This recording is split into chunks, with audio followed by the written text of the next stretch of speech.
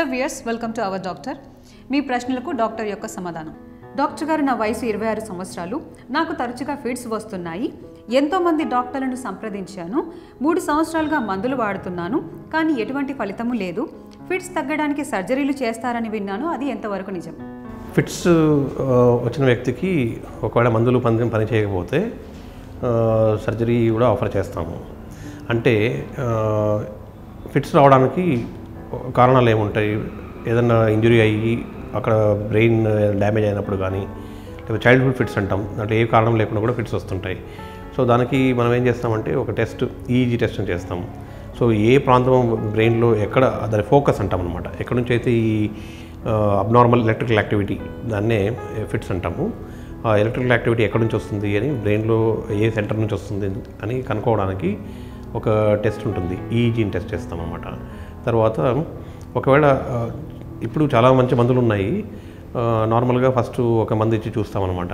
Suppose ఒక మంది ఇచ్చిన తర్వాత ఫిట్స్ కంట్రోల్ అయ్యారనుకోండి ఒక మంది చాలు. ఒకవేళ ఆ మందుతో తగ్గలేదనుకోండి సెకండ్ మందు యాడ్ చేస్తామంట సెకండ్ మెడిసిన్. ఈ సెకండ్ మెడిసిన్ యాడ్ చేసినప్పుడు రెండు మెడిసిన్స్తో కలిపి కూడా ఫిట్స్ తగ్గలేదనుకోండి థర్డ్ మెడిసిన్ యాడ్ చేస్తాం. దాంతో కూడా తగ్గకపోతే అప్పుడు మనము సర్జరీ అని ఆలోచిస్తాం అనమాట అంటే ఎన్నిసార్లు ఫిట్స్ వస్తున్నాయి రోజులు ఎన్నిసార్లు వస్తున్నాయి లేదా వారంలో ఎన్నిసార్లు వస్తుంది నెలలో ఎన్నిసార్లు వస్తున్నాయి? ఒక వ్యక్తికి సంవత్సరంలో రెండుసార్లు వచ్చే వ్యక్తికి ఆపరేషన్ అవసరం లేదు. అదే తరచుగా ఒక రోజులోనే మూడు నాలుగు సార్లు వస్తుంటాయి అనమాట కొందరికి. అట్లాంటి వాళ్ళకు ఆపరేషన్ చాలా యూస్ఫుల్గా ఉంటుంది. సో మెడిసిన్స్ అంటే ఆపరేషన్ చేయడానికి కారణాలు ఒకటి తరచుగా ఫిట్స్ రావడము మెడిసిన్స్తో కంట్రోల్ కాకపోవడము. దీనివల్ల ఆయనకు ప్రతిసారి కూడా నార్మల్ లైఫ్లో అడ్డంకులు రావడం దానివల్ల. సో అటువంటి అపస్మారక పరిస్థితులు ఉన్న వాళ్ళకు మనము సర్జరీ ఆఫర్ చేస్తాం. సో మూడు నుంచి నాలుగు మందులు ఇచ్చినా కూడా ఫిట్స్ కంట్రోల్ కాని వాళ్ళకు తర్వాత తరచుగా రోజు ఎక్కువగా ఫిట్స్ వచ్చే వాళ్ళకు ఈ ఆపరేషన్ చేసే ప్ర- ప్రయత్నం చేస్తాం.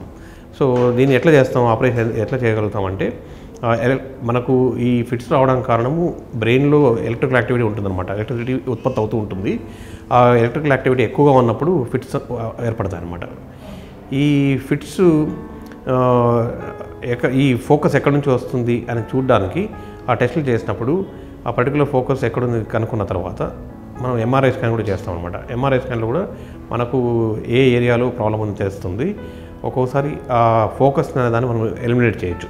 ఒక సర్జరీ చేసి ఆ ఫోకస్ని తీ తీసేయచ్చు అనమాట తీసేసినప్పుడు అక్కడ నుంచి ఫిట్స్ రావు అనమాట ఇట్స్ లైక్ జనరేటర్ అనమాట అక్కడ నుంచి ఎలక్ట్రికల్ యాక్టివిటీ జనరేట్ అవుతుంది కాబట్టి ఆ జనరేటర్ని తీసేస్తే ఇంకా electrical activity abnormal electrical activity రాకుండా ఉంటుంది. అది ఫిట్స్ తగ్గిపోతాయి అనమాట సో ఫిట్స్ కంట్రోల్ కాకపోయినప్పుడు అది మూడు నుంచి నాలుగు మందులు వాడినా కూడా తరచుగా ఫిట్స్ రావడము మనకు డే టు డే లైఫ్కి ఇబ్బంది కలగడం ఈ మూడు ఉన్న వాళ్ళకు మనం సర్జరీ చేయాలి. ఒక్క మెడిసిన్తో ఫిట్స్ కంట్రోల్ అయిన వాళ్ళకు ఎప్పుడో ఒకసారి ఫిట్స్ వచ్చే వాళ్ళకు లైఫ్ డైలీ డైలీ లివింగ్లో ఏం ప్రాబ్లం రాకుండా మనకి ఎప్పుడో నైట్ టైం ఒకసారి ఫిట్స్ వచ్చి ఒక సంవత్సరంలో ఒకటి రెండు సార్లు ఫిట్స్ వచ్చే వాళ్ళకు అసలు అవసరం లేదు. సో చూశారు కదండి డాక్టర్ యొక్క సమాధానం. మరి ఇంకేమైనా ప్రశ్నలకు సమాధానం కావాలనుకుంటే మా కామెంట్ బాక్స్లో కామెంట్ చేయండి. వాట్సాప్ నెంబర్కి వాట్సాప్ చేయండి. మీ తరపున డాక్టర్ గారిని నేను అడుగుతాను. సో మర్చిపోకుండా మా ఛానల్ని సబ్స్క్రైబ్ చేయండి లైక్ చేయండి షేర్ చేయండి. Thank you for watching